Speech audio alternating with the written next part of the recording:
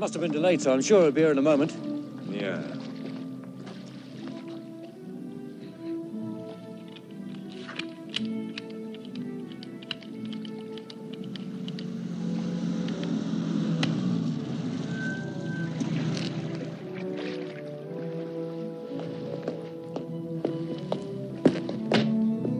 Major Franklin? That's right. My name's Baker.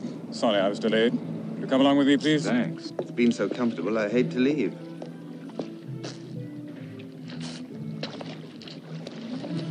When you're all quite ready,